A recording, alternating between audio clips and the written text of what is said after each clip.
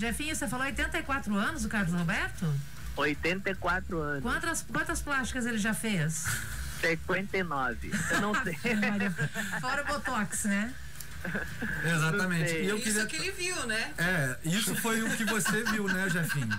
Exatamente. Essas foi E aliás, você também foi. Você também teve Covid, né? E o- Peguei, peguei. Pois é, você também coronavírus. teve o Covid habitando dentro de ti.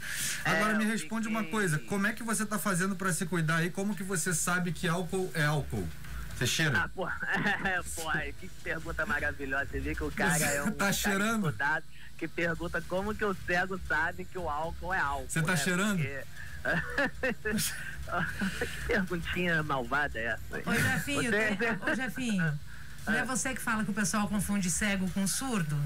Confunde, as pessoas berram. Mas o, o cego no corona teve algumas particularidades, né? É, por exemplo, eu peguei realmente no final do ano passado, fiquei sem paladar, sem olfato, sem visão. Foi uma coisa três em um ali. Virei uma planta que andava. E pela cidade foi legal, mas fiquei uma semana só com sintomas e já me recuperei.